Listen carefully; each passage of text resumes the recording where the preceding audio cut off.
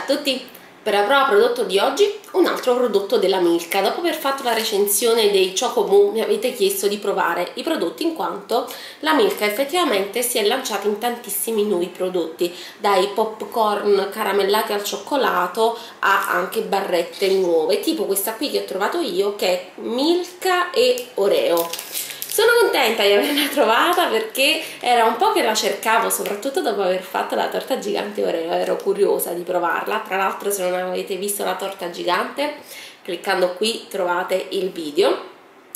Ero curiosa di provarla perché voi mi avevate chiesto Claudia assaggia questi Oreo, facciamo una torta gigante io non li avevo mai assaggiati prima di fare la torta gigante, per quello ci ho messo un po' di tempo a realizzarla e mi sono piaciuti molto, mi piace soprattutto quel retrogusto un po' salato che ha il biscotto, quindi oggi in questa barretta mi aspetto lo stesso retrogusto, non so se lo sento solo io questo sapore un po' salato, fatemi sapere se lo sentite anche voi. Allora, quindi Milka Oreo, vi vado a leggere le calorie, questa barretta è da 41 grammi e ha 225 calorie.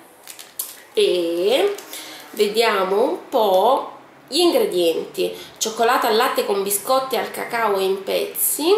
Gli ingredienti sono zucchero, grassi vegetali di palma e di palmisto questi qui non ci piacciono tanto. Farina di frumento, burro di cacao, siero di latte in polvere, latte scremato in polvere, pasta di cacao, grasso del latte, latte in polvere ricco di materia grassa, cacao magro in polvere, olio di colza, anche questo non ci piace tanto, sciroppo di glucosio, fruttosio, amido di frumento, emulsionanti, pasta di nocciole, agenti lievitanti, gli agenti lievitanti saranno nel biscotto credo, è la prima volta che li trovo in una barretta di cioccolato, penso di sì, sale, c'è il sale, ho trovato, e aroma, può contenere altra frutta a guscio. Ok, è arrivato il momento di vedere innanzitutto l'aspetto, voglio proprio vedere se ci sono i pezzettini di biscotto come si vedono qui e poi anche il sapore che non è da sottovalutare.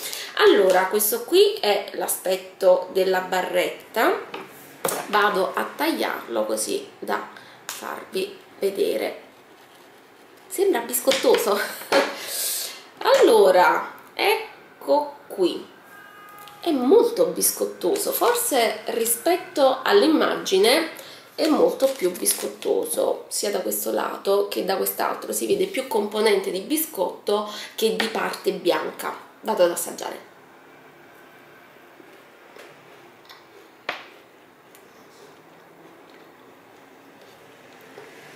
Allora mi piace molto mi sarebbe piaciuto si sentisse un pochino pochino in più la parte della crema che forse si sente meno rispetto al biscotto mentre il biscotto con il suo retrogusto un pochino pochino salato si sente quindi sono contenta.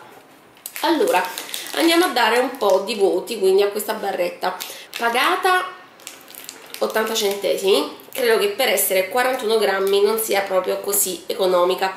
Quindi per quello che riguarda la qualità prezzo soprattutto per gli ingredienti che come dite voi non ci piacciono tantissimo forse il prezzo in questo senso lo trovo un pochino elevato quindi darei una sufficienza.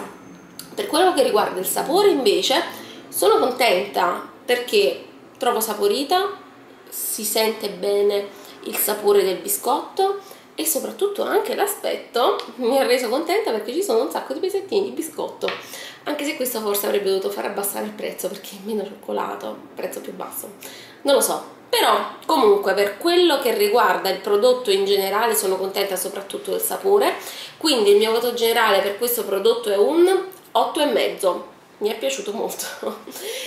Non ho valutato tanto appunto il prezzo e gli ingredienti ma fatemi sapere anche voi la vostra opinione un bacio a tutti, ci vediamo alla prossima video recensione sabato o ricette il martedì.